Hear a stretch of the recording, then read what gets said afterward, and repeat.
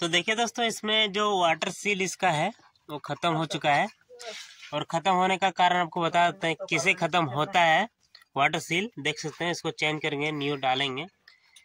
तो ख़त्म होने से आपको पता चल जाएगा कि यहाँ जैसे यहाँ है क्रैंक इसके थ्रू से पानी चल जाता है। तो पानी कहाँ जाएगा? डायरेक्ट चेम्बर में।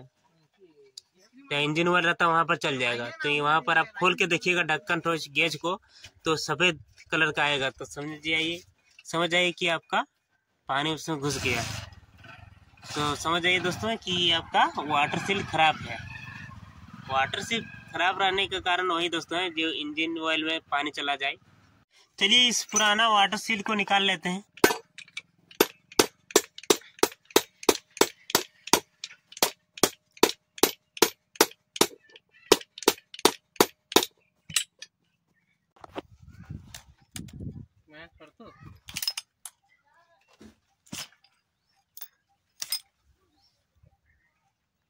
देख रहे हैं दोस्तों ये बिना गिलन का है मशीन तो।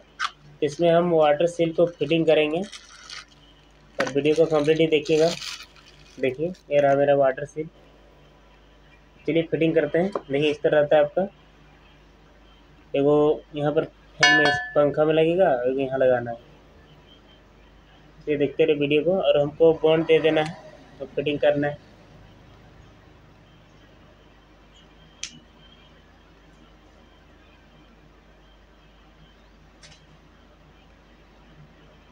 गिलन का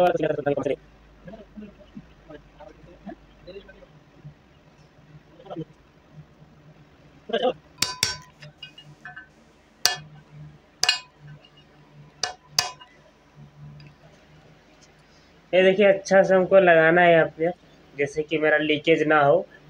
हाँ पानी ना जा पाए इंजन में। इंजन में पानी आपका चल जाने से आपका इंजन ऑयल ख़त्म हो जाएगा दोस्तों। तो अच्छा से हमको सेटिंग करना है बारीकी से सेटिंग करना है।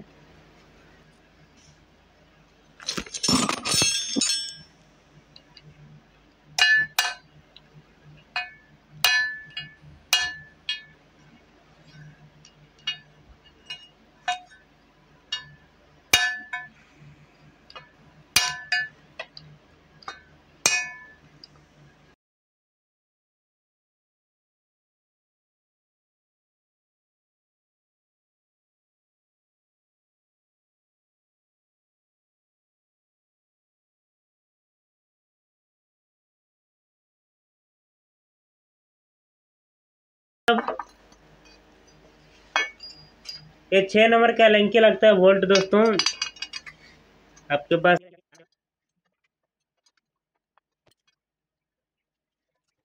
चार वोल्ट को।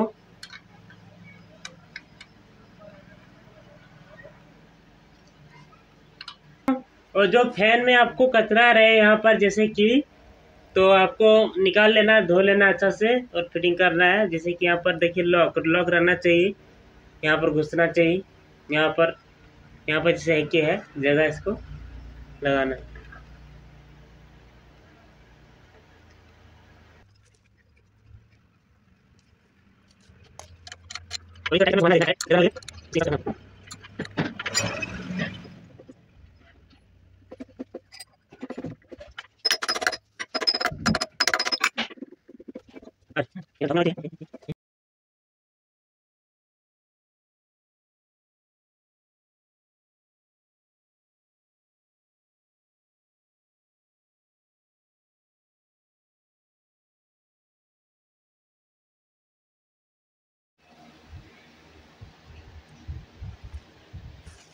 जैसे कि दोस्तों पंखा लगा लिए हैं और जैसे कि हम घुमा के देख लेना है, जाम ना लगे तो ठीक है। देखें घुमा के। और बॉन्ड दे दिए जैसे कि ये वाला रबड़ था यहाँ पर। यहाँ पर बॉन्ड दे दिए हैं। तो फिटिंग करने वाला है।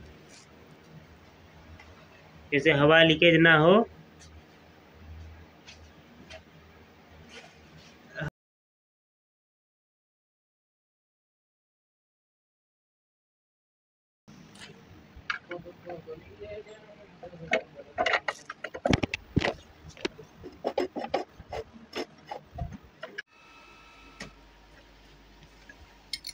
चलिए दोस्तों, सबसे पे फटाफट लगाते हैं नट बोल्ट को।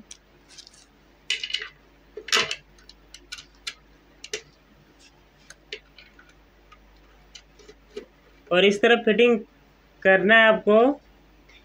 देख लेना है कि मेरा फ्री घूमे और कहीं पर सटे ना। इस तरह फिटिंग होना चाहिए, तब आपका चलेगा।